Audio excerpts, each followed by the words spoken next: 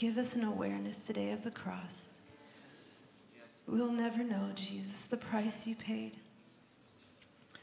But Holy Spirit, we ask right now that you will make Jesus so real to us today, Jesus. Come on, church, agree with that. Just make Jesus so real to us. Holy Spirit, it's you that makes Jesus alive to us, Jesus. It's you, Holy Spirit, that makes him real. So, Jesus, I ask right now that you will just walk into the room, Jesus. Touch your people. Holy Spirit, we welcome you right now. We welcome you, beautiful Holy Spirit, into this place, into our lives, Jesus. Oh, forgive us, Lord, if we become professional Christians, Jesus. Forgive us, Lord, if we think that we have figured you out. We will never figure you out, Jesus. There's always more, Jesus. So today, we cry out for the more, Jesus, Lord. Come on, just cry out for the more, Lord. We cry out for the more today in Jesus' name.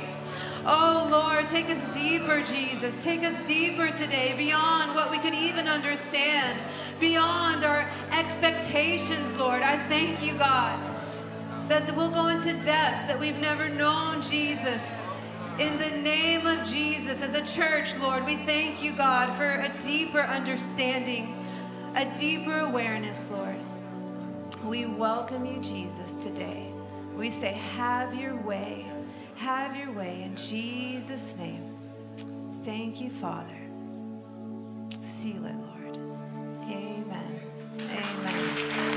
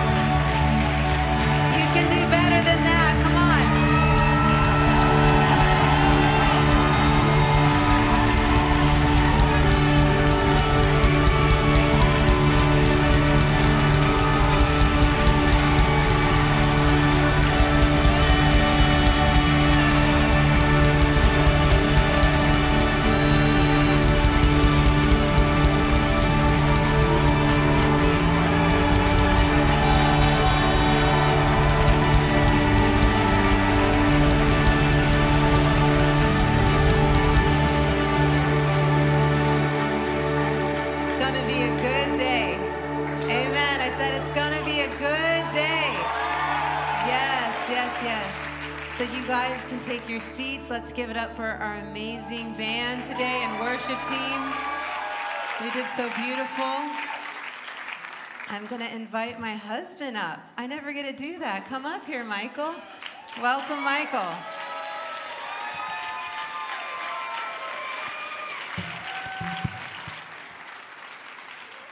Hey. Good morning. It was beautiful. Well, you're all happy today. Let's keep it that way. It's going to be an awesome day. Michael and Larissa Miller from Upper Room are going to be ministering to you. And uh, so excited.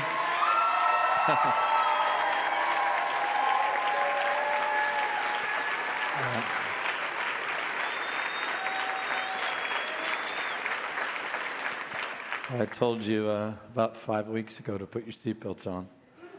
We were in a really holy season. And uh, let's grab it, right? Certain moments uh, come to you sovereignly, and then some opportunities come sovereignly, and you have to grab them. So, this morning, may we all just be completely pierced through in the depths of our hearts. And uh, I'll introduce them in a moment. I don't know what you guys have planned, but just make yourself at home. Whatever you want. Um, you ready to give to the Lord? Yeah. Okay. Um, I, I don't get to do this as much as I'd like to anymore. I actually do really enjoy teaching on giving. I'm going to take about three or four minutes here and just share a few scriptures with you. May the day come where I don't have to do this anymore. Amen? We're almost there. We're getting there. But I'm so proud of you. Uh, for those of you who don't know, we were able to send a couple hundred thousand dollars to the church in Afghanistan uh, in one day because of your generosity. And um, it's making a huge difference. And you can stay up to speed on that just by following YWAM on social media or Andy, our dear friend Andy Byrd. You can just continue to follow uh, what they're doing. But a few moments have I been more proud as a pastor. And by the way, it's partially Miller's fault that I am pastoring. we, uh, when we started the Jesus Nights, I think after the first one, he goes, Hey, Pastor. I said, Bro, I'm not a pastor. They're just weekly meetings. yeah, so, yeah, here, and here we are. Yeah, here we are. What a joy it's been. All right, write this down. I just want to share a few keys with you so that you can live this way. This isn't to get a big offering, this is so that you can live in obedience and in the goodness of the Lord for the gospel's sake. Write this down. Giving is the way of our God.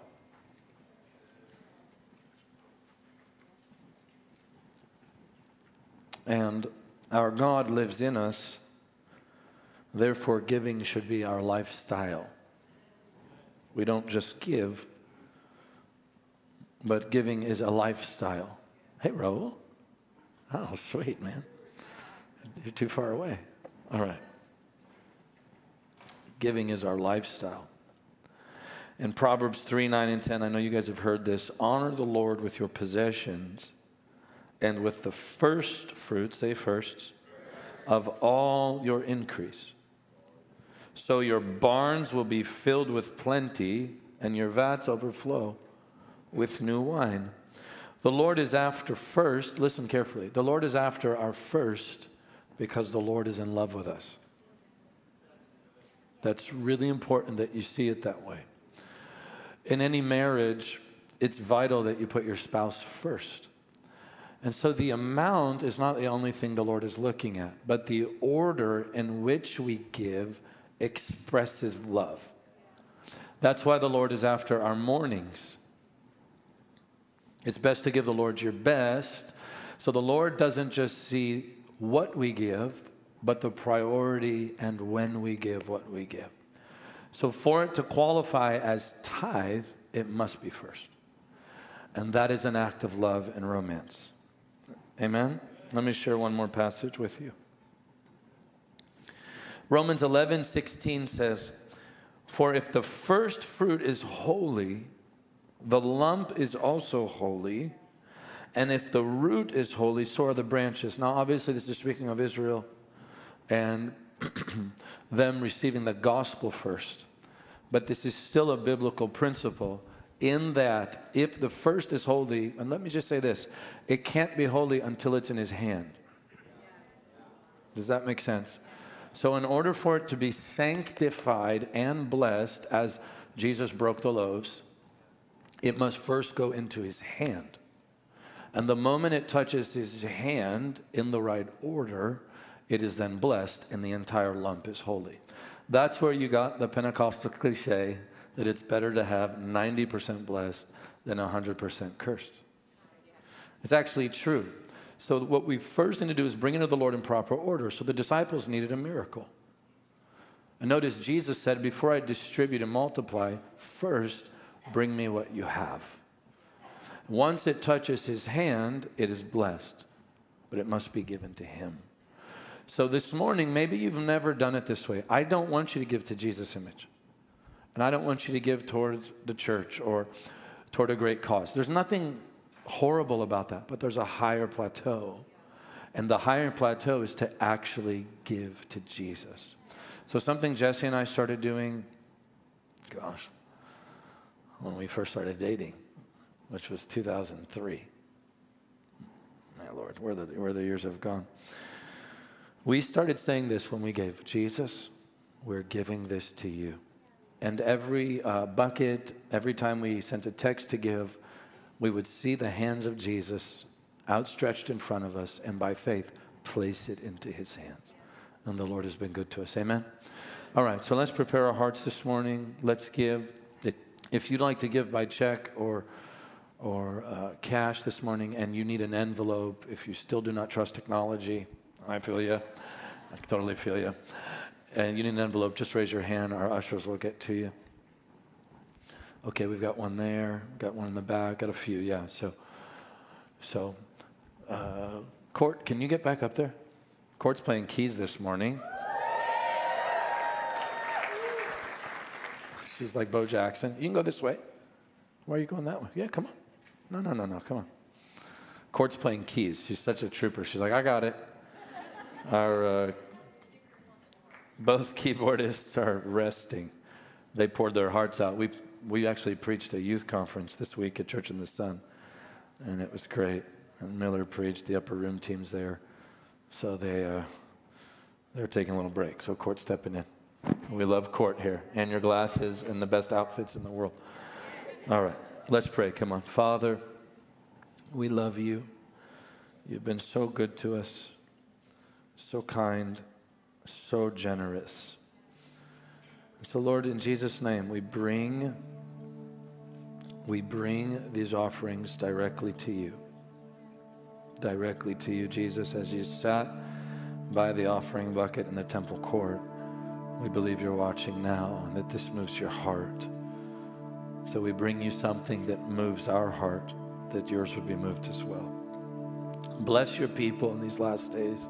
Prosper them, protect them, increase them. Protect every pastor who's visiting, his churches, his church, his family. Protect every business. Protect every missionary. I pray you do exceedingly and abundantly above all we could ever ask or think. Bless your people and further the knowledge of your glory. In Jesus' name. Amen. Amen. Before, uh, before we uh, go any further, I just want to throw up, let's throw up some of the latest images of the building. I just want to keep it before you. That's the Bethany House of Prayer, as you guys know, and that is actually literally a peninsula on the lake in the back of the property. That stained glass there is Mary of Bethany pouring her oil on the Lord. Uh, I think, let's show another one. That's the Bethany house from the outside. So there's the, the prayer and worship house there. And all of them are maple trees, like, like Pine Valley and Pinehurst. Yeah. No palm trees allowed. We don't want you to feel like you're in Florida. We're over the heat. So we're trying our best here. Go to the next one. That's the uh, main sanctuary. And uh, as you guys know, that's the back stained glass that's behind the platform. Let's see if we have one more of the interior. I think, we, yeah. So that's the inside. Don't worry, we will not have neon lights and smoke flying through there unless it's the cloud of his presence. But um, there you go. So let's just stretch our hands in faith. Father, we thank you that in the name of Jesus, you'll bring in every dollar needed and that the nations will come to be with you, adore you, and love you, and that you would be deeply adored there. In Jesus' name. Amen. If you're watching online, we want to thank you for watching. Thank you for joining us every week. And if the ministry's blessed you, we want to invite you to give by text to give as well. If you're giving by text to give today in the house, you can just text give to that number on your screen. God bless you. We'll be right back. Hey, buddy.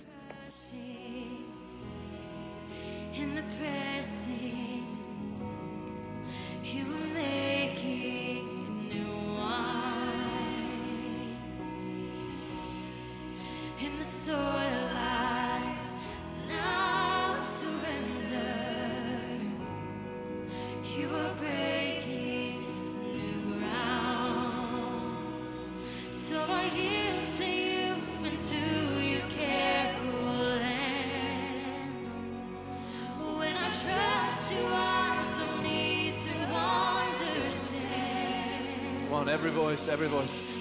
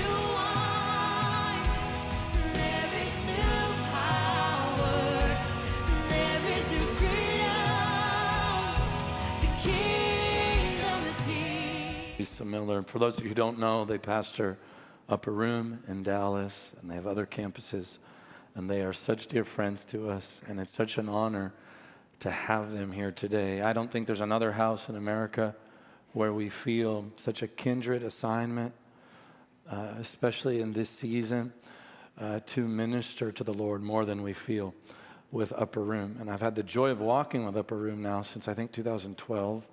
I preached the gospel with a bunch of Upper Roomers in the backyard of a business guy in Dallas while they were eating burritos. And amazingly, the power of God fell. and I fell in love with that community and started just hanging out in the back of the church when I would come through Dallas. A friend of mine named George Brandon said, You got to come check out these wild people who meet near a, I think, a vet clinic or something like that. And um, they're the real deal. And Jessi and I do our best to give you people who really love the Lord and whose lives exemplify that at the pulpit and away from it. We try to expose you to people. In fact, we, we do expose you to people who love their families, who take their marriages very seriously, who love their children, and who deeply love Jesus.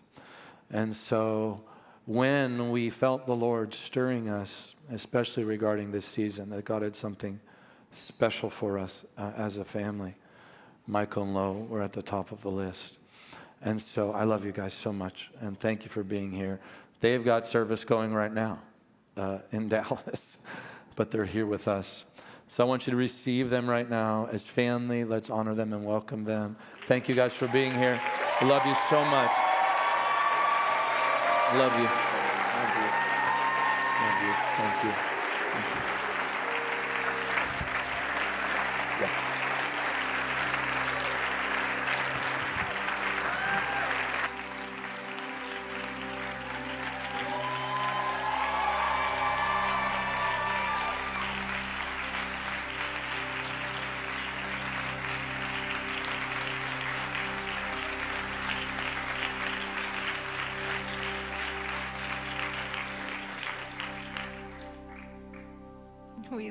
Guys.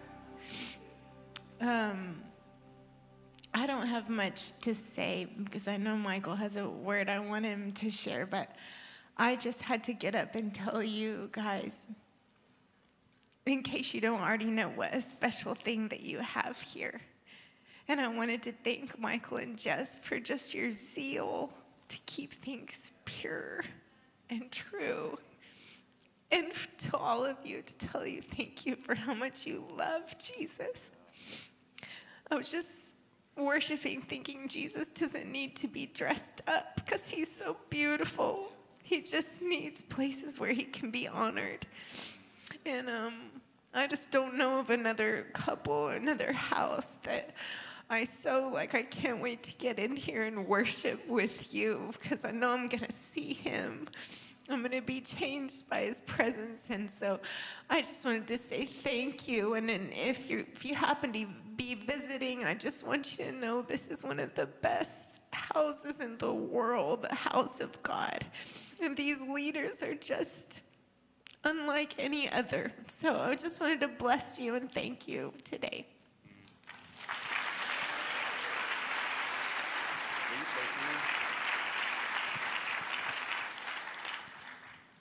Okay, I'm going to pray for you. So, Lord, oh, we love you so much and we want to hear from you. And we believe, Jesus, what you said. We believe that your words are spirit and life, that they're not just words, but they do something to us. And so, we ask you, Holy Ghost, through Michael today, teach us, teach us, teach us. We want to see Jesus. We want to know him. We want to be changed today. We want you to come and be in our midst more than anything else. So fill Michael with your presence even more, Lord, we ask. Amen. Well, good morning. Really honored um, to be with you and to see you. Uh, I talk to Michael weekly, a lot of times, about you. And so to be in the presence of people that I've been praying for, carrying in my heart, Uh, seeing Michael's love for you has grown my love for you. Uh, you have uh, an amazing father and mother here. Um, and so it is, it's truly, truly an honor. God's doing a new thing. Um, there's a new thing that He's doing, and it's through a company of people like this. Um, and I'll put a little more language to that here in just a second. I want to honor the birthday boy, though. Did y'all know it was Michael's birthday this week? Yeah. So, um, it is your birthday, bro! Happy birthday! Dude. Yeah. You do have a lot of grace to be 29, but you're nailing it. And I was praying for you on your birthday this week, and I, I felt the Lord lead me to a scripture that I really, I, I feel like it frames who um, Michael Koulianos is and who I've seen him to be. It's out of Psalms 78, and it's a description of David.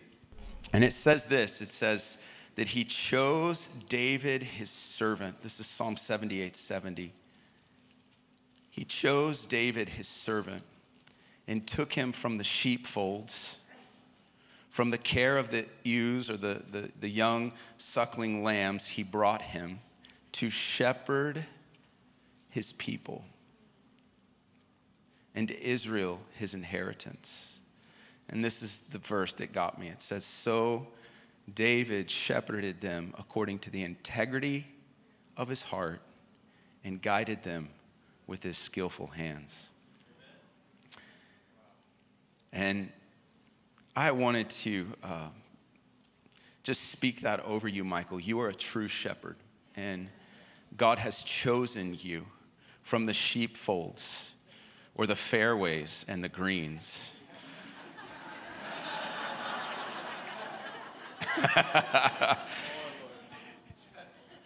he took your seven iron and he gave you a shepherd's rod.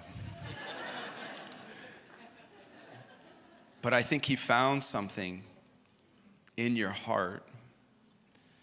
You know, David's journey from the sheepfolds to the place of authority and, and leading, it, there were such unique private victories. We see that he killed bears and lions. And from there, he killed Goliath.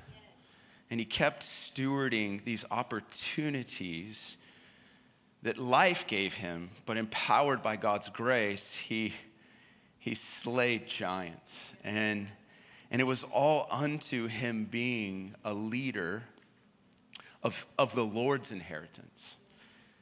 And those were his people.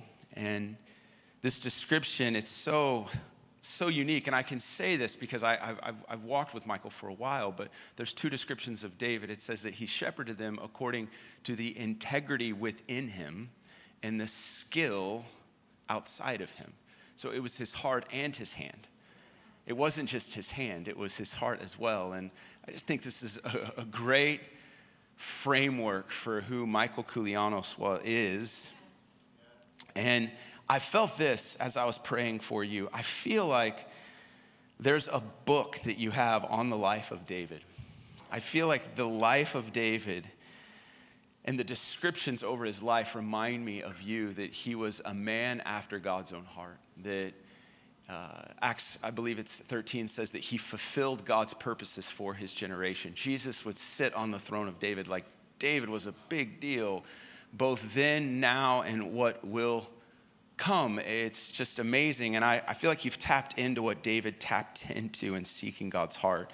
And so I wanted to say happy birthday, and I wanted to bless you uh, with Psalm 78, 70 through 72, that you are a true shepherd, and I'm honored to know you and run with you. I love you so much, brother.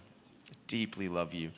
And, uh, and, and one of the things that I, I love about Michael, and this lead kind of to the word, is um, I believe the Lord is uh, raising up a new breed of leaders and shepherds. Um, and they know, they know uh, when to operate in their gifting, and they know when to uh, allow the anointing to stay on the Lord Himself. Um, there is a people uh, emerging in this hour that are going to be marked by one thing, and it's the presence of God. Uh, it, is, it is the presence of God. It's the distinguishing mark in the days ahead. And it's not the presence of God resting on a man, it's the presence of God resting on a people. It's not a house marked by a gift, it's a house marked by the presence of Jesus. It's houses that aren't marked by the leadership of a man or men, but the leadership of a man whose name is Jesus. And and that's what that's that's why there's such a depth here. It's why it's why you you feel a part of family. It is the Holy Spirit beckoning you, grafting you in, and literally bearing your life in the soil that is Jesus Image Church. This is good soil for your marriage, for your kids, for your vocations. Like we need soils for the seeds that God has put within us. And Jesus Image Church is very, very, very good soil. It's very good soil. And, and I wanted to, um, there's a book that, that has really marked uh, my journey. Um, I, I, do want to echo Michael in saying that I, I, think the, the two houses, Upper Room and uh, Jesus Image, are, are, are unique expressions, not elite expressions, just unique expressions for what God's doing in this generation. And, you know, the, the, the signs and times uh, the Lord has answers for every question and every problem. Um, and, and I believe He's forming a skin for the harvest that is to come. There is a massive harvest, but He's building houses that will hold those precious souls. Once they're born into the kingdom, He's gonna graft them into families. And they're houses like this that are emerging for the days ahead. And so I want you to know if you're in this room and you're here for the first time, you've been coming a couple of times, or you're here every time, there is something unique for this time in the kingdom for you to take your assignment on the wall and to get grafted into a community like this because the days ahead, we're gonna need one another. We're gonna need not only the people in this room, but Upper Room is gonna need Jesus Image Church. We are gonna need each other as houses across state lines, within, you know, who knows what's coming down the pipe from a government standpoint, but we are gonna stand shoulder to shoulder for truth, for the authority of God's word we're going to stand shoulder to shoulder. And I believe the kingdom of heaven is going to advance in, in profound ways in the days ahead. As darkness increases, the light within us is going to only shine brighter. It's going to be amazing. I am so expectant. And and like and it's not our zeal for the lord that's going to accomplish it it's his zeal for his house it's His zeal, it's His purposes, it's His solutions, it's His grace, it's Him sourcing us to do what only He can do through us. And it's actually what marked the early church. And so I wanna.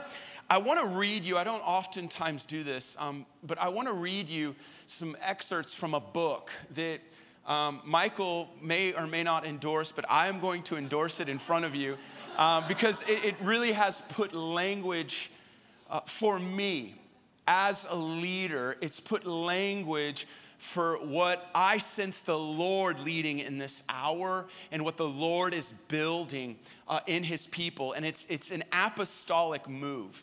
And Rick Joyner has a book called The Apostolic Ministry. And I just want to read you a couple of zingers from it because uh, these singers will help frame kind of where I want to go this morning and just paint a picture for where we're all heading to what I see God doing with Upper Room, what I see Him doing with Jesus Image Church and other churches. But stingers, not zingers, which is a golf term if you're not familiar with stingers. Uh, chapter one um, of this book, here's the opening line. You'll love this. It says, There is more power in a single Christian than in all the armies on the face of the earth. Go to Amazon, buy the book. That's the first line in the book. there is more power in a single Christian than in all the armies on the face of the earth. This truth will become known throughout the earth before the end of this age. God dwells in his people, and when his people come to know this as a living truth rather than a doctrine, the world will then know this truth also. Later in this chapter, this is going to be a little longer excerpt, but this is, it's just so, um, so, so good. the emerging generation must have adventure in their lives. The devil often takes advantage of this, but God put it in there for a reason. The final generation on this earth are going to live the greatest adventure the world has ever known. There's no greater adventure than the true Christian life, and the true Christian life is about to be restored to the earth. This true and ultimate adventure is food for the soul. Many try to meet this needs with movies and books um, and they live vicariously through those things, but none of these will ever fully satisfy the longing for this reality in our lives. Nothing can satisfy this longing like true Christianity. We must also understand that this will mean the end of the church as it is now. Radical change is coming and those who are not discerning enough to see it and to become a part of it will not survive much longer. This is not a slam against the church as it is, which has been effective in its time and powerful salt and life in the earth in its generation. But the church is also the mother of the last great day ministry, which is soon emerging. However, just as Rachel died giving birth to Benjamin, the last son born to Israel, the same will happen to the church when the last day ministry is born. We must keep in mind that few biblical types or models fit perfectly with what they are intended to represent. They're parables which are intended to teach us. Um, but a major part of the church, as we know it, is not going to die because it has failed, but because it has succeeded. So, so true. It will have given birth to the ministry that will help transition the world between the church age and the kingdom.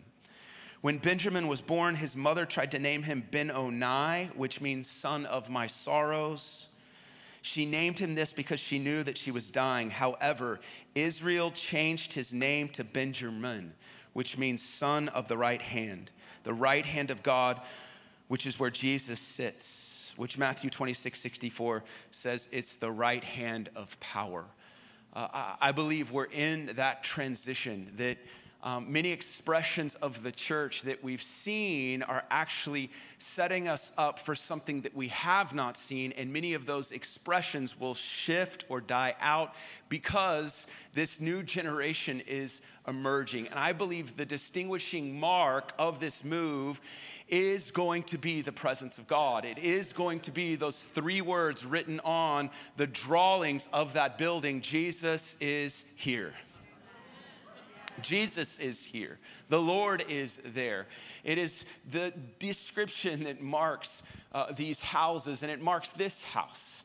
Uh, it marks this community. And I believe uh, that transition is happening in, individually and corporately, meaning there's people in here um, and you have been in a season of sorrow. You have been in a season where uh, you've been transitioning, and that transitioning has been incredibly challenging. And like Rachel, the temptation is to name this season sorrow, but I believe the Lord is setting you up to hear the Father define this season as a Benjamin season. That you will actually find favor through the sorrow. You will find purpose through the pain. You will find breakthrough through the breakdown. You will find joy through the sorrow. You will find light through the darkness. That the hallway will lead you to a place of occupation. There's a process to the promise, always. And so don't, don't. don't let your natural mind name this season something that it's not to be named because a season doesn't have to define you. A season actually will transform you to enter into the promise and purpose that He's had for you. And I believe the earth is in a transition right now, and many are attempting to define this transition as sorrow, pain, hardship, division. We see the imminent shadow that seems to be increasing upon our nation, but I see harvest, man. I see hope. I see Jesus positioning us to break our one loaf and feed the masses. Like he is the God who defies odds, he defies them.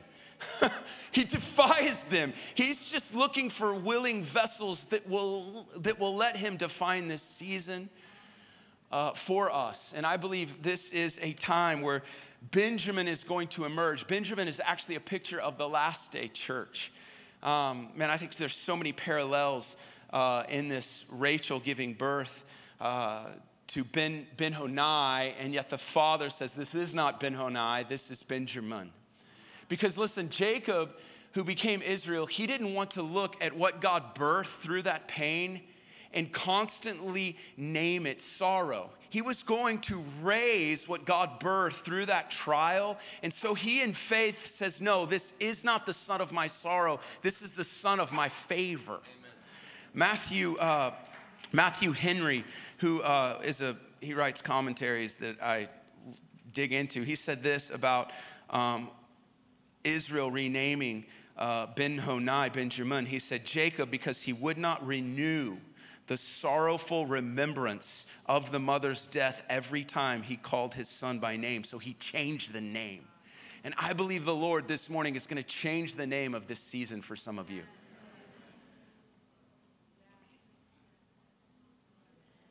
Because listen, what happens is when life throws you a curveball and when circumstances come at you and you begin to define seasons, through the natural lens, then that season, like a day becomes weeks, weeks become months, months become years, and it's just your plight, and you lose expectation, you lose hope, because that one season, which was your set up, became the season where you got set back and you never got into the purposes and promises of God through that trial and pain. And I believe the Lord wants to increase faith through the light and momentary afflictions that some of you are facing. From eternity's standpoint, they are light and momentary.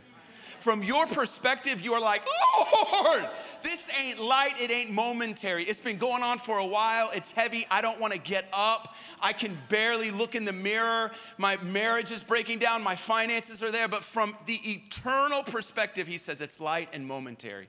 And I'm producing something in you that is an eternal weight of glory. You for eternity will weigh this and it will be defined as glorious for all of eternity because of how you have stewarded the affliction of this season.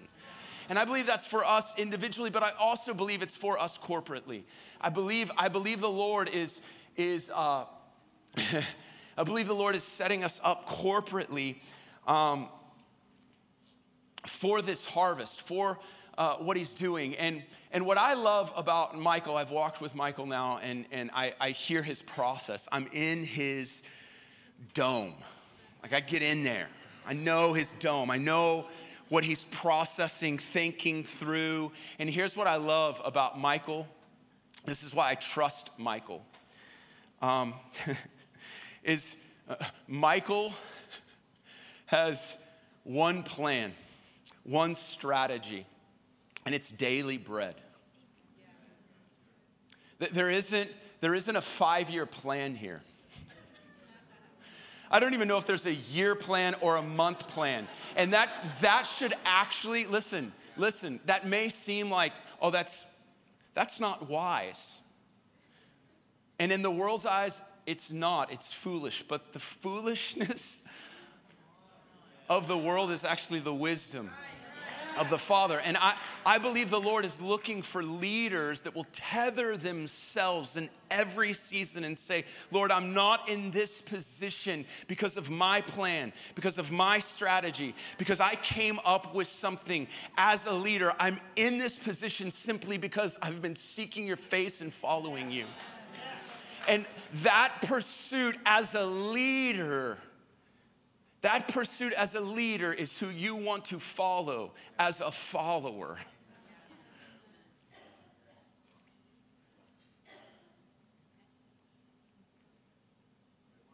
Thank you.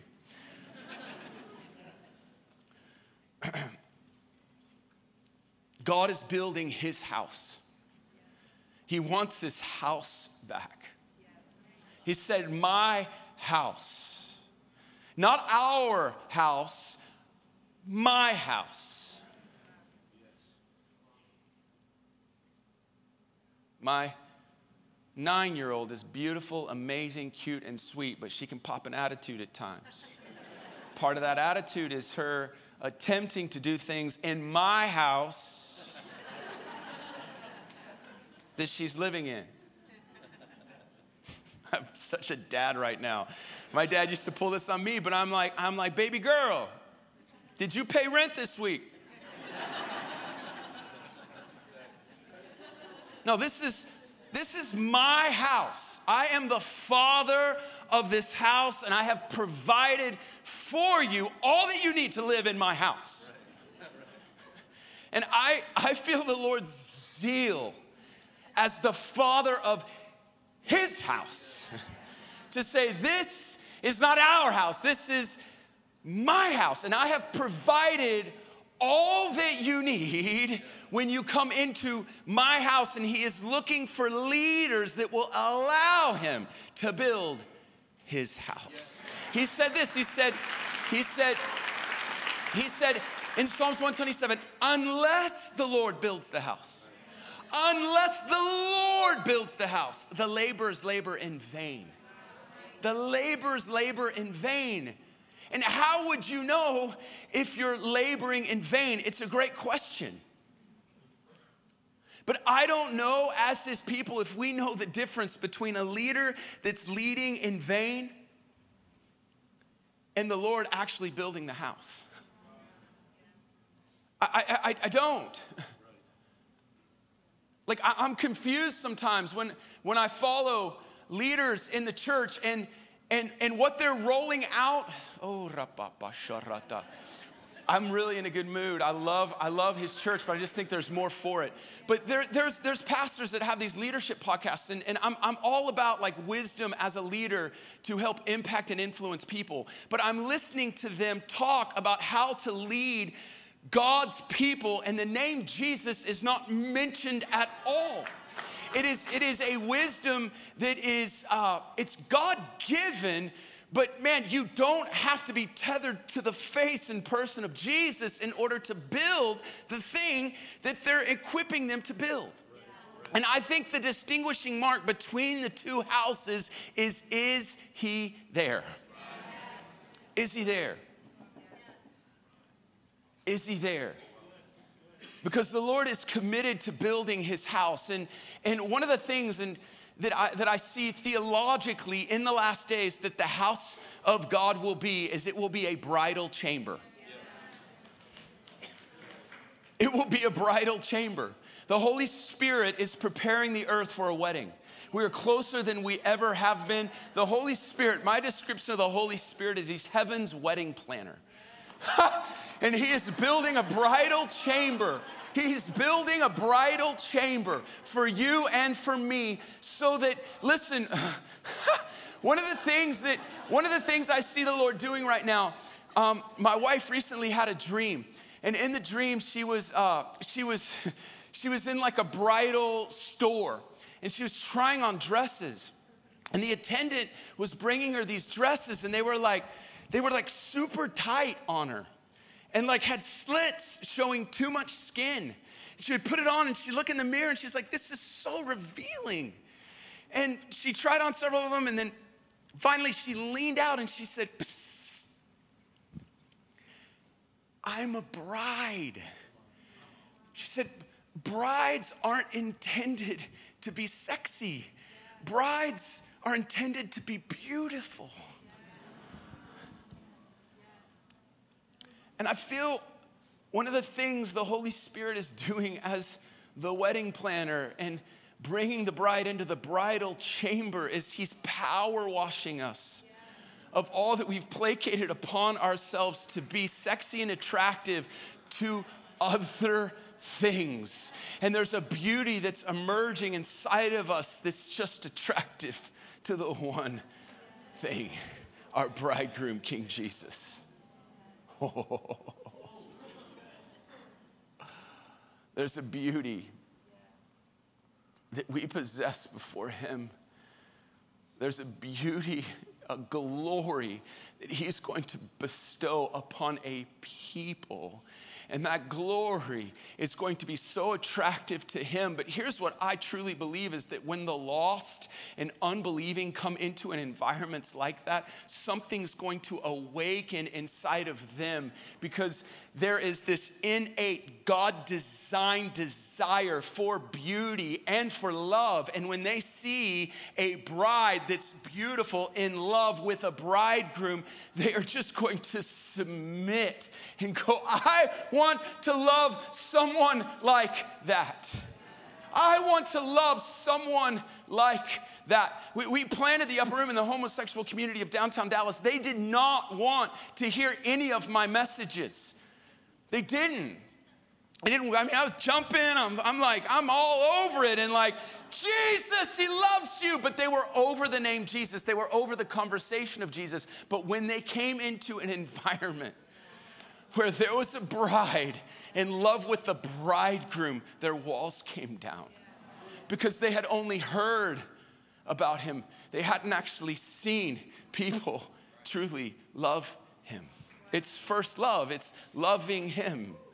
It's not loving people in the name of loving Him, it's loving Him, it's adoring Him. It's first commandment, adoration to the one. Oh, Hora pa.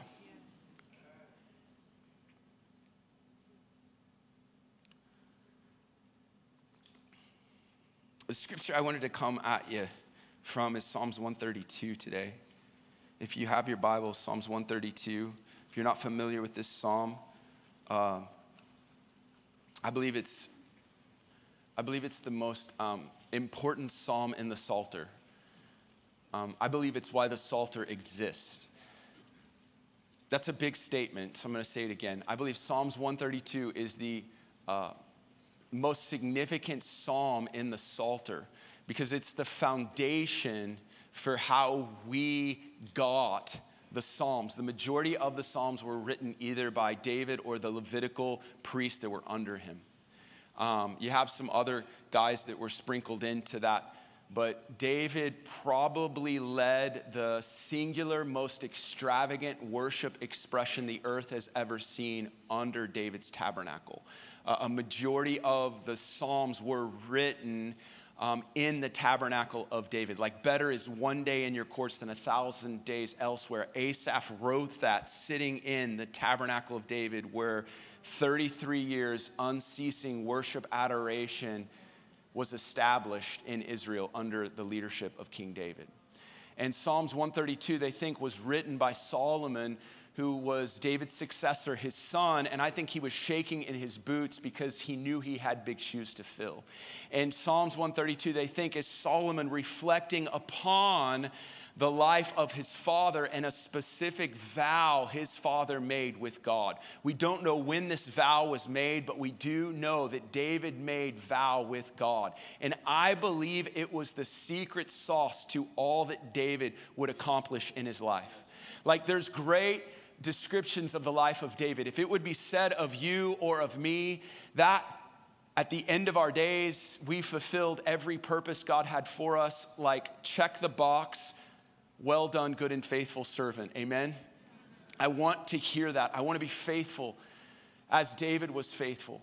Um, David was defined as a man after God's own heart. Again, you can look at books as to why that is, look at characteristics and traits of what made him that. But I believe deeply that Psalms 132 is the reason David carried the descriptions and accomplished what he accomplished as God's son, as God's servant, and ultimately as Israel's king. And my prayer this morning is that I can set you up to make the same vow that David made. Because God's desire has not changed. And so, Solomon in Psalms 132, verse 1, he's reflecting again upon his David's. His, his father's uh, life, he says, Remember, O Lord, on David's behalf, all of his affliction how he swore to the Lord and vowed to the mighty one of Jacob. So here's the vow that David made. He said, Surely I will not enter my house nor lie on my bed. I will not give sleep to my eyes or slumber to my eyelids until I find a place for the Lord, a dwelling place for the mighty one of Jacob. Behold, we have heard of it in Ephrath. We found it in the field of Jaar. Let us go into his dwelling place. Let us worship at his footstool. Arise, O Lord, to your resting place, you and the ark of your strength. Let your priest be clothed with righteousness, and let your godly ones sing for joy. David made a vow with God. Most likely, he made that vow as a teenager in the sheep fields that we read about in Psalm 78. We don't know the exact moment but we know that David's life lined up to this vow that he desired to live a life that would be unto God finding a resting place on the earth. You can see glimpses of it when Saul, who did not have this pursuit, Saul, who feared man, Saul, who was insecure, little in his own eyes, became demonized as a leader. He gets rejected as a king, and when he gets rejected, he gets demonized. Who do they call upon? The, sh- the shepherd in the sheep fields he had a reputation of playing a harp, and when he played the harp, it was known that the presence of God would rest upon David. How that happened, I don't know. I don't know if David had like pop up concerts out there, where just strumming the guitar, but somehow word was out about his pursuit as a teenager. And so David gets called into the king's chambers, and he's playing the harp, and the demons flee, and I believe it's because of this vow it put him before Saul. I believe David had a history with this vow, seeing lions and bears be killed by his bare hands. We see the history that he had when he goes and gets the five smooth stones and slays Goliath, but I believe it was all because of this vow that he made.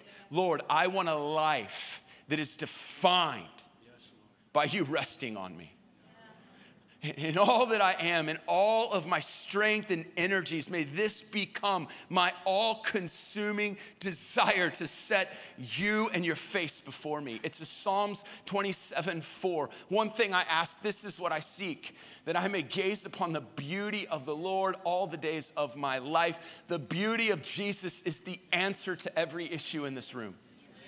And David knew that.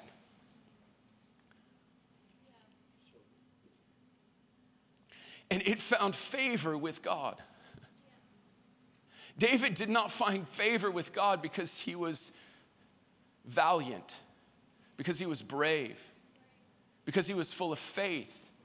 David found favor with God because he sought God's desire for his life, and it was, Lord, let my life be a resting place for you. It's why you're in this room this morning, it's what drew you here.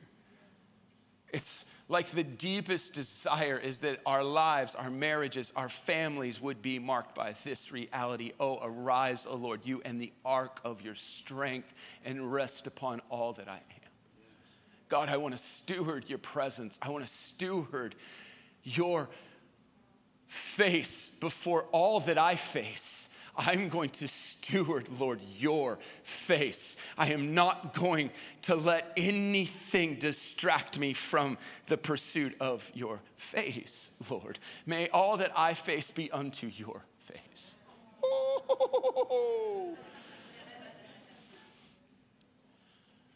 When this gets cellular, when this gets inside of you,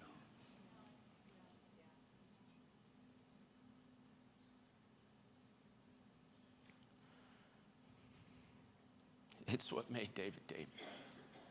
I've preached this a lot. You've probably heard me say it, but when David was crowned king, finally the leader of Israel, he's been through the cat and mouse game of honoring Saul, but Saul's still attempting to kill him. There's a whole process to the promise. But he finally emerges as king. Everyone's unified, and he stands up and he leads the nation of Israel in the vow that he had already made with the Lord. Because he says this he's like rolling out his agenda. And in 1 Chronicles 13 3, he says, We are going to seek the ark, for we forsook it in the days of Saul. Meaning, I made this vow with the Lord, and if I'm your leader, my vow is now your vow. and what happens? The rest of Psalms 132 is profound. The rest of Psalms 132, listen, verse 10. Because, like, a lot of people are like, oh, you're just gonna sit in a room and, and, and, and, and sing songs to Jesus? Like, let's get stuff done. Well, let's get productive. But here's what happens is once this becomes the thing, there's an exchange that takes place. Many people preach Psalms 132, the first couple of verses, but I love the second half because in verse 10, listen to this. For the sake of David, your servant, do not turn away from the face of your anointed, for the Lord has sworn. Earlier, we saw David swearing to the Lord and vowing to the Lord. But in David's vow, the Lord then looks to David and he makes a vow with David. He makes covenant with David because of David's covenant with the Lord. A truth which he will not turn back from. Of the fruit of your body, I will set upon your throne. Your sons keep my commandment, my testimony, which I teach them. Their sons shall sit upon your throne forever. Verse 13. For the Lord has desired, he has chosen Zion, he has desired it for his habitation, which is still true today. This is my resting place forever. Here I will dwell. I have blessed it. I will abundantly bless her with provision. I will satisfy her needy with bread. Her priest I will clothe with salvation. Her godly ones will sing for joy. Therefore, I will cause the strength of David to spring forth through them. I have prepared a lamp for my anointed. His enemies will be clothed with shame, and upon him will a, a crown shine. What's my point? Here's the point. Through the one vow that David made with the Lord, the Lord then vows to give him everything he would desire. He gives him generational blessing, provision, satisfaction, life, joy, worship, strength, light, direction, protection, honor. All of that comes from David just saying, All I desire is your face. All I desire is to be a life that's marked by your resting. What is this? This is the simple pursuit. 11:3, 2 Corinthians, it says, Don't be deceived as Eve was by the craftiness of the serpent, but return back to the simplicity and purity of devoting yourself to the person of Jesus. And it's a people, it's a people that hold this pursuit. It's people building this together. It's family living in proximity to the presence of Jesus. Like cultural Christianity isn't going to sustain us in the days ahead. And and I believe this is what I've seen. I have seen people living in proximity to the presence of Jesus daily transforms community and communities. And that's what this is. This is a daily tending to the presence of Jesus. This is a daily tending to his desires, his longings, his pleasures. Lord, may my life be a resting place for all that you desire. I'll give you just one simple testimony this week that happened. I've shared this with Michael, but we're in the process of building a building too. I hope we like move in at the same time. That would be so awesome. That would just be like, um, we're supposed to open sometime next year. Uh, we have just under 100,000 square feet. It's just south of downtown Dallas. It's this old, like, millennialville. I mean, there's hipster millennial kids everywhere, and we are a magnet for them. and, um, and so, in this process, like this scripture, I wasn't going to share this, but I feel like I'm supposed to. This scripture, um, where it says, I have uh, eagerly desired to dwell in Jerusalem on Mount Zion eh, to be my habitation. You know, Jerusalem is Jesus' home. Jesus is going to descend and he's going to establish his kingdom on earth from a real city called Jerusalem. And I've just been awakened in his desire for that. Um, I went to Jerusalem a little over two, almost two years ago, and first time going, but it just, it just whacked me. Like getting baptized in the Holy Spirit was so transformative. And the, the only thing I can describe my journey to Israel is similar to being baptized in the Holy Spirit. Like, I, I just, I, like, the Hebrew culture and God's heart for the Hebrew people, and specifically the land, just came alive inside of my heart. And so I'm sitting on uh, the Mount of Olives with uh, a group of people. Sean Bowles was in our group, and I write in my journal um, there's a place for the upper room in Jerusalem. And I knew what that meant. It meant that there's a resting place that he wants us to establish. Not that there's not already ones happening there, but again, just my pursuit has been pretty singular. And Sean Bowles was with us. And Sean's like worshiping, and he, he leans over and he goes, Hey, buddy, I just heard the Lord say the upper room. There's, there's a place in Jerusalem for the upper room. And I'm like, Bro, are you reading my journal? And he's like, No, I'm not. And he said, It's going to be an equipping center. There's going to be, uh, and he starts prophesying all this stuff. So, um, I again was touched. First time I went was January last year. Uh, eight weeks later, through a dream, I knew I was supposed to take some of our worship leaders over there and get them rooted in the land. I'm over there. I connect with two men. One I knew from Dallas, another that I met was a pastor in Bethlehem. Um, we start journeying together. That specific day, they were going to look at land. Um, it's at the Jewish, um, Muslim, it's like a real significant intersection just outside the old city walls. Like it's a two minute walk. And uh, they were walking this land, and, and so I'm like, oh, yeah, I'll pray for you to get land. And I'm not really thinking of this word at the time, but um, long story short, I get grafted into this team where they're gonna, they're gonna do this Nisi worship center.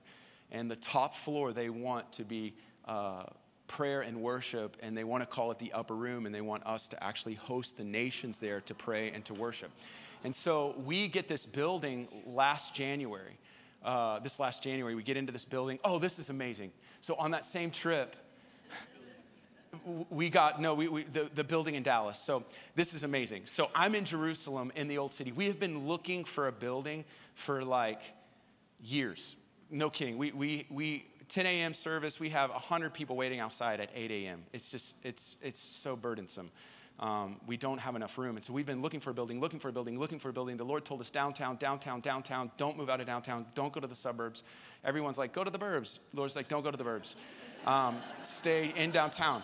So so i'm in jerusalem my second time. I know the lord's doing something in this pursuit and i'm at uh, a, a, like we're having these pita shawarma things at lunch and i'm across sitting across the table from this guy and i'm like hey man what's your name he goes my name's jared i said where are you from he said i'm from dallas i was like i'm from dallas and I was like, well, what part of Dallas? He said, the design district. Well, no one's from the design district. That's where the upper room is. It's like all warehouse design stuff. He goes, yeah, my wife and I have a warehouse down there that is our home. And I'm like, man, that's crazy. I pastor a church there. I was like, what do you do? He said, commercial real estate. I was like, oh my gosh, I'm looking for a building.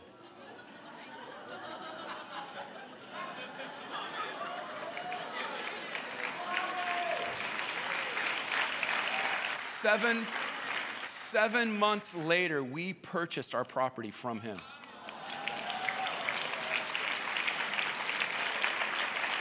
Isn't that the Lord's leadership? So get this, it gets even better. Um, so I was, uh, I, I was, we needed to raise 15 million bucks. It's a lot of money, which thank you guys. Y'all gave a gift to the, the, the building last year and just so blessed. It was like the first seed I think that was sown into that. Um, so we we are getting into this building. We're going into a 40 day fast. We're got to raise six million of the 15 by the end of the 40 days. And the Lord starts really speaking to me about Israel out of Psalms 132, a resting place. And I'm just overcome with His desire to build a resting place for Him in his land, like his presence is actually him. You know, the whole Michael Koulianos thing about the presence of Jesus is Jesus, that thing. And I'm overwhelmed with that, that the presence of Jesus being Jesus, Jesus wants to be there and he's looking for people that are willing just to host him in his land. I'm overcome with this. And, and my friend Kyle, he's like, hey, we need, we need two million to purchase this land. And I'm like, in Jerusalem, sorry, I'm getting my lands confused. In Jerusalem, two million, while we're raising six million for the land in Dallas. And so I had a fundraiser the next night. And, um, and I heard the Lord say before I went to the fundraiser, he said, he said, if you help me get into my land, I'll help you get into yours. And so I was like, well, what does that mean? What is, you know, like practically, it sounds good, but I'm raising funds for Dallas. And so the next day, I stood up at a fundraiser for, for Dallas. Um, all Dallas people, 20 people or so, they knew they were coming for a fundraiser for our building in Dallas. And I got up, and all I talked about was land in Israel. It was a really confusing fundraising page. And so at the end, we showed a video and said, so you can give money to Dallas, but I also want you to know we're raising funds for Israel. And uh, we raised, uh, I asked my exec, I said, how much do you think would you, you know, be surprised that we raised? He goes, man, if we raised 400,000, 500,000, be amazing. Well, we raised a million bucks for Dallas that night. And then we raised 100,000 for Israel. Long story short, we ended up raising the, the funds for Israel, but the most unique thing happened two days after that fundraising event. Um, I, got a, I got an email from a guy that I'm mutual, mutual friends, and, and, and he had heard a sermon that I had preached pitching the vision for the building. And he said, I just know that I'm supposed to help you. Can we go have lunch? So I go to lunch with this man. I'm sitting across from him. His name's Brian. And Brian is an architect in our town. He works for a firm, and I didn't know this firm at the time, but the firm was HKS. HKS is the largest architectural firm, one of the largest architectural firms in the world. He started their sports and entertainment branch 30 years ago. It is one of the most, uh, I mean, they're, they're a famous design firm for stadiums. So their first stadium was the Milwaukee Brewer Stadium. They did the Minnesota Vikings Stadium. They did the Indianapolis Colts Stadium. They did the Dallas Cowboys Stadium. They just did the Texas Ranger new baseball stadium. And the most like biggest one that they did was the LA SoFi Stadium. Have you seen that thing? LA SoFi is a crazy stadium. And, uh, and he sits in front of me and he goes, Listen, I know that I'm supposed to help you build your church. People have said that I've built cathedrals for sports teams, but the Lord told me I'm to build a cathedral for Him. And he said, I want to offer, I want to offer my services for free. And the Lord was like, if you help me get into my land, I'll help you get into yours. How? I'm going to give you a modern day Bezalel, the top designer in this field, our building will be known as a Brian Trubey, their firm designed building. People will come and look at it. And it's crazy the stuff they're thinking about doing. It'll be iconic in Southtown, south of Dallas. What is my point in all of this? My point in all of this is I made a vow with the Lord. I want to build resting places for the Lord. And through this one pursuit, getting land in Israel, through this one pursuit, this architect is going to build a cathedral that's going to be a resting place for the Lord. I don't know what you're after, but if we can just bring divine alignment where the one thing is truly the one thing, I believe the Lord will, and all these things will be given to you. That your, all your desires are found in this one. And it's fighting to keep that desire before any and all desires.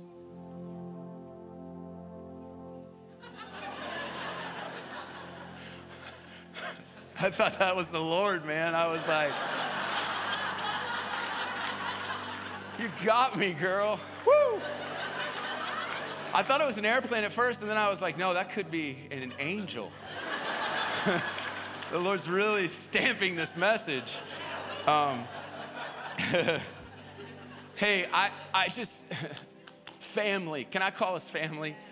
Can, can we go after this together? Can you know that there's a tribe in Dallas that's contending for your promises? And will you contend for ours? I feel like we're on the same trajectory that God, God, there's a, an emerging, victorious, beautiful bride that is saturated by the presence of Jesus, but they are in love with the one. And there's a generation longing for that. They really are. They're longing for longer services. They're longing for simpler agendas.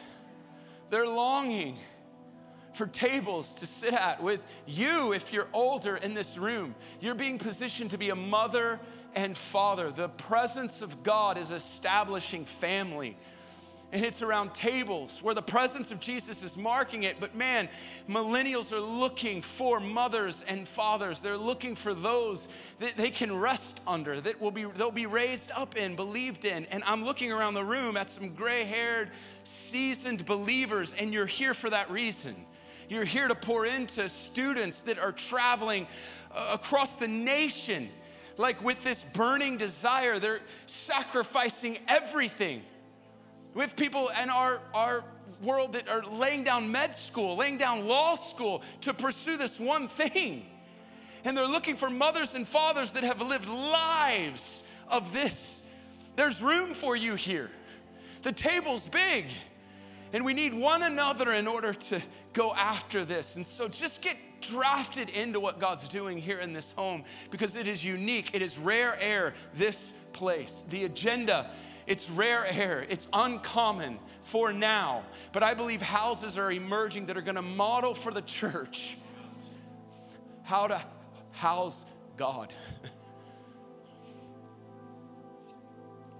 so I just want you to put your hand on your heart, and I'm just gonna ask the Holy Spirit.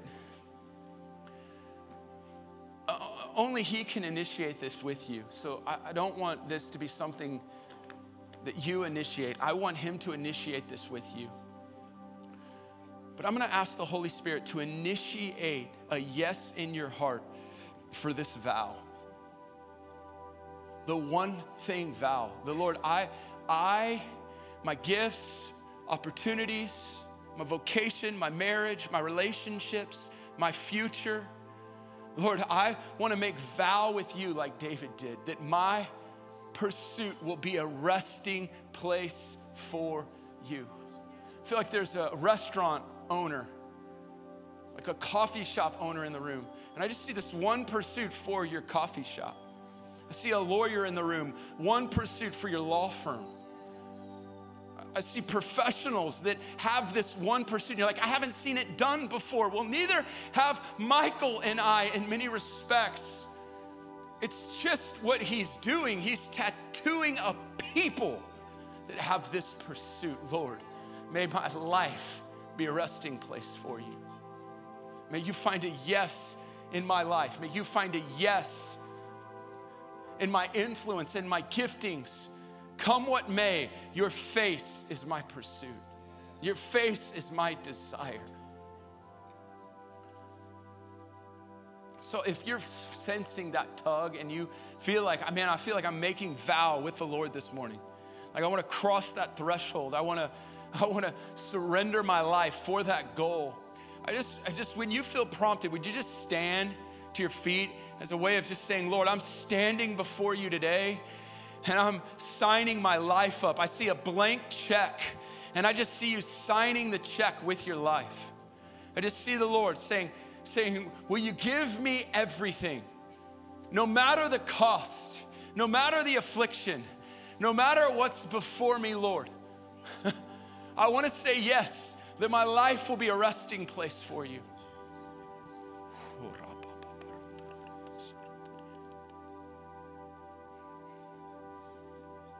oh.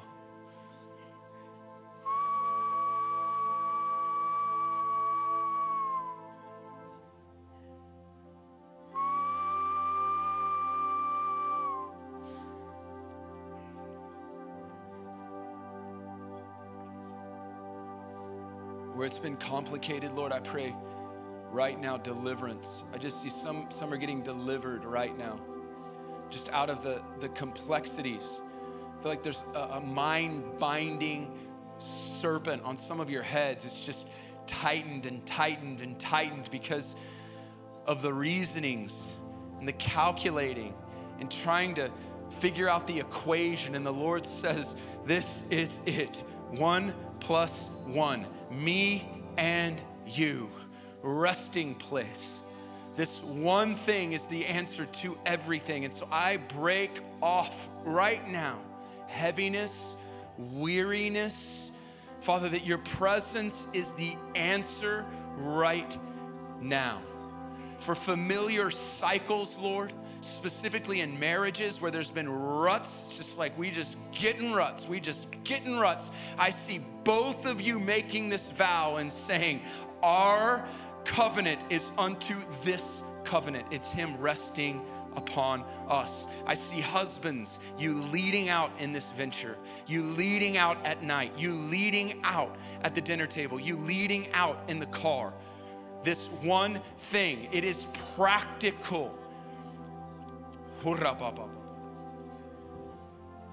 I wanted to add what Michael was saying about marriages. I really feel that in this room today that, you know, when David brought the ark in, um, he was dancing wildly before and his wife was standing up and the, looking out the window, despising him for how ridiculous he looked. And, and when Michael when he was getting ready for that fundraiser that he was telling you about, and he told me, I think I'm gonna raise money for Israel instead of our building. I looked at him and thought, You're nuts. These people aren't gonna understand what you're talking about. And you know what? I don't even know if they did understand, but God saw.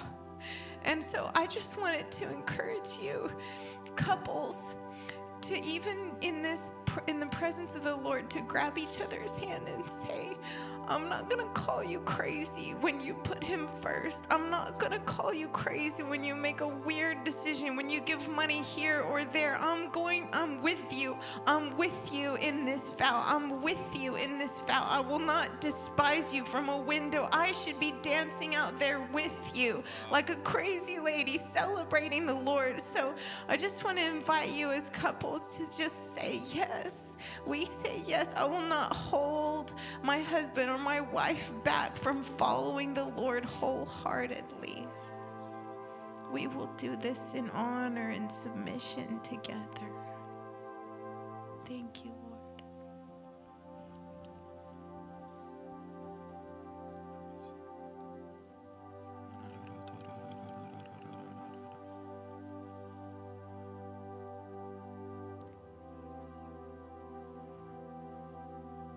I want to pray for uh, the Levites. If you're a worship leader or a musician, would you just lift your hands? I just declare, uh, Holy Spirit, to come out of the. Come out, come out, come out. just see the Lord pouring an oil upon you. And I, I, I see this, this becoming a reality in, in the secret place, in the hidden place. I see you closing your door. And I, I, I see I see songs. I see songs and sounds from the secret place. Like seeds he's gonna plant in your heart.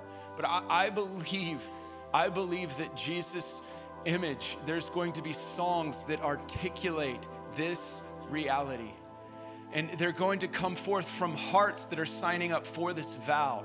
And so I just want to acknowledge that a seed has been planted today. And as you water and cultivate that seed, it is going to bear fruit that's going to feed the nations. This is a collective house effort. Gifts thrive in this pursuit because it's not unto the gift, it's unto the tree of life that is Jesus. So I just anoint there's been such a grace on our house for those songs, for those sounds. And I just declare it over these hands and hearts, these minds. Just these simple love songs simple love songs, like almost lullabies for the church.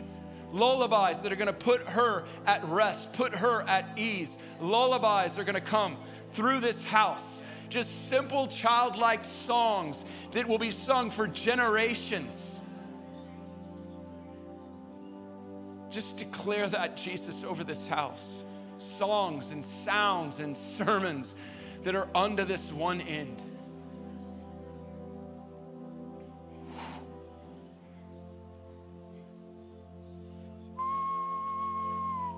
Thank you, Father.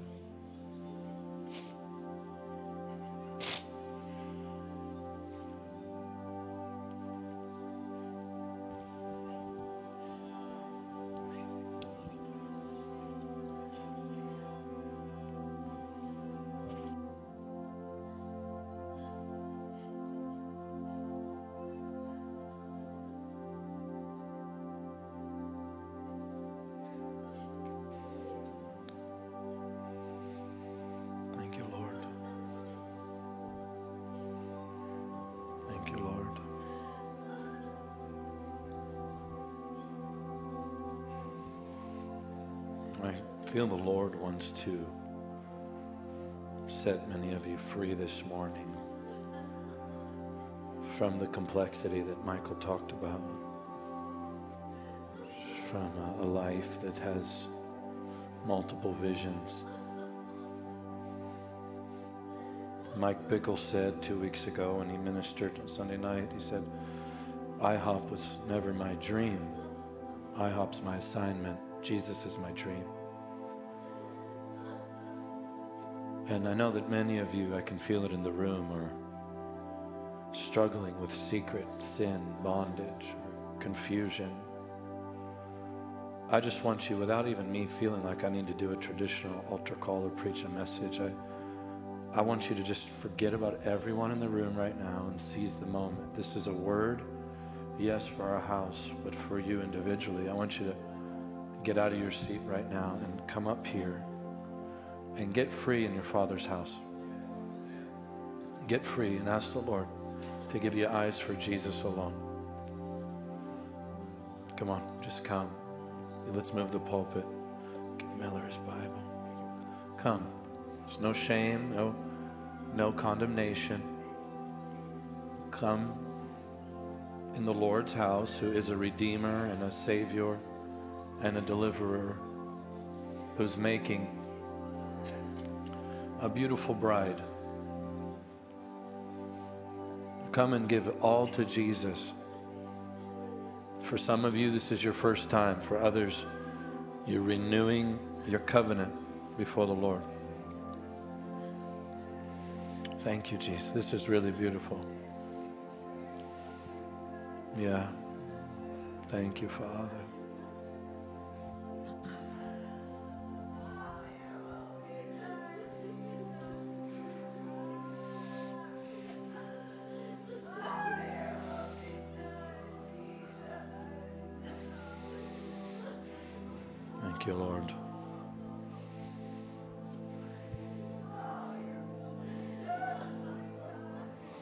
So this is very simple. It's so simple that uh, the enemy tries to blind us to it. But multiple visions and pursuits in life just bring stress and fear.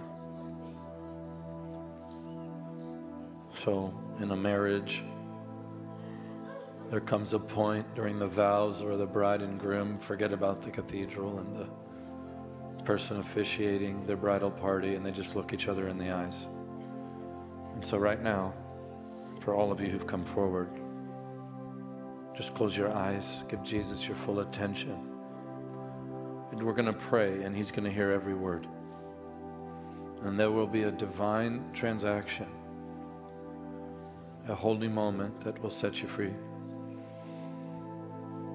so that you too can be the worshiper and the lover of God that you're called to be. Just pray this out loud. Heavenly Father, forgive me.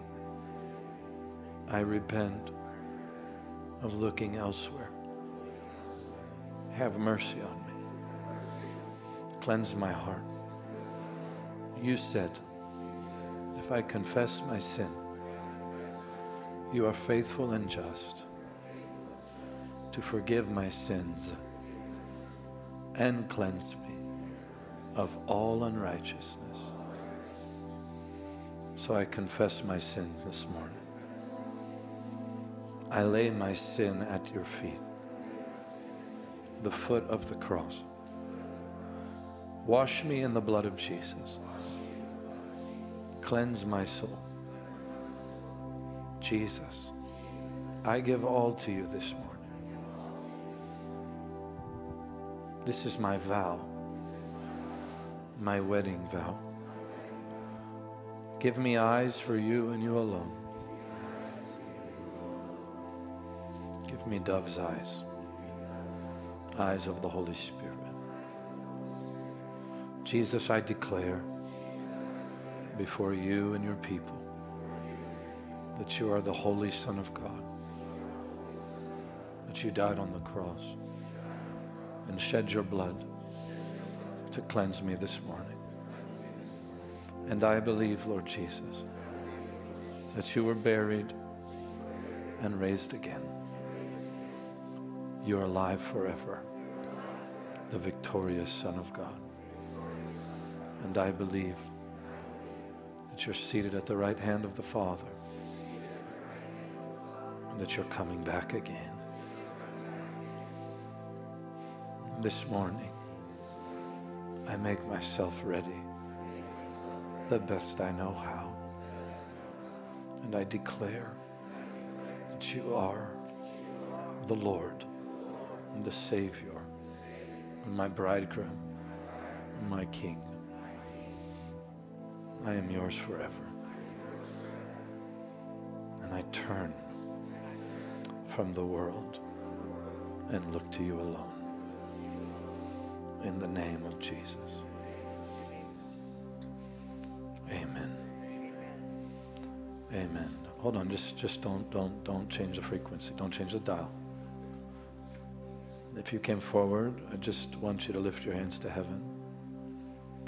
And if you're in your seats, just by faith, I want you to stretch your hands out toward these precious, precious children of the Lord. Now, Jesus made a promise. Here was the promise that we would receive power when the Holy Spirit comes on us. It is the Holy Spirit who does the work. And there are many of you who need family members to receive what you've received this morning, friends. And so, as children right now, I just want you to receive. You don't need to beg. It's the Lord who's accomplished this on your behalf. And when I pray, I want you to give your full attention to the presence of the Holy Spirit. He may come differently to all of you. I just want you to give him your attention. That's all. Church, are you ready? I just want you to stretch your hands and just gently pray in the Spirit out there in the crowd. Father in heaven, I thank you that you have promised the wonderful gift of the Holy Spirit and that Jesus, you are the baptizer. Jesus, you said, if we asked, we would receive. And so right now, I ask you, your children ask you for true bread, the presence of the Holy Spirit. Be filled, all of you, be clothed in the power and presence of the Holy Spirit. May the fire of God come upon you. May the oil from heaven be poured out right now. May the gentle dove descend upon your anxiety. May the wind of glory come and purge and strengthen and invigorate you. Holy Spirit, come.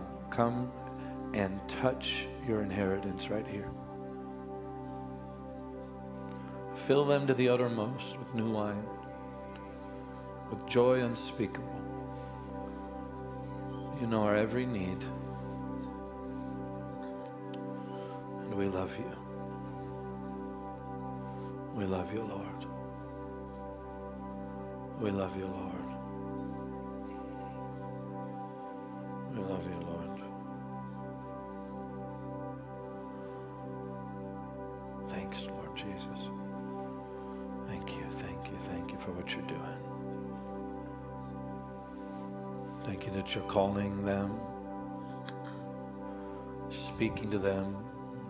You're actually handing out assignments. Oh, Father, thank you. Thank you, Michael, so much, Lo. Thank you. I just want to pray something as a pastor here. And I want us all to agree. Come on, just lift your hands to heaven. Lord, we receive the word of the Lord this morning. And continue to reduce us to one thought, one goal. We receive your word. Make this a resting place. Make our hearts resting places. Rest in our homes. Rest in our city. And we pray for other churches in this city who are crying out as well. Touch them.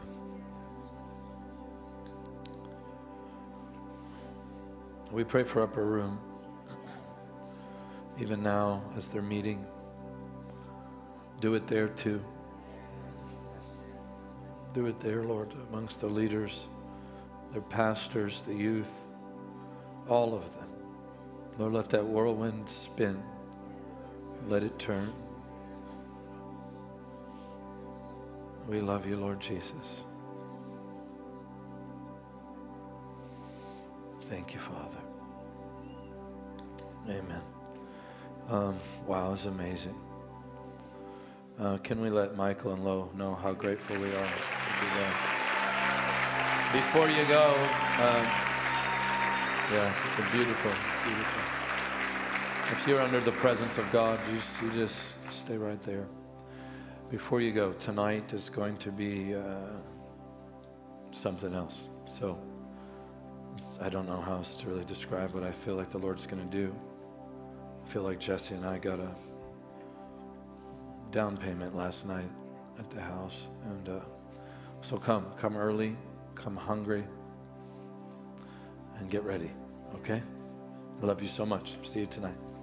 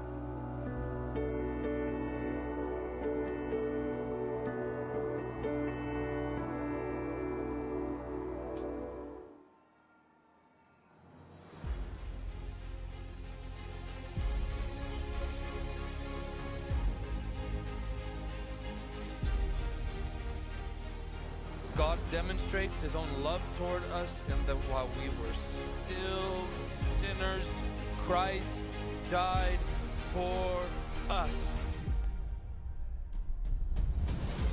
Jesus shed his blood. He died on the cross. He was buried. He rose again from the dead on the third day to give you life and to prove that he is the Son of God, who he said he was. Today he is seated at the right hand of the Father. And for those who belong to him, he is interceding for them eternally.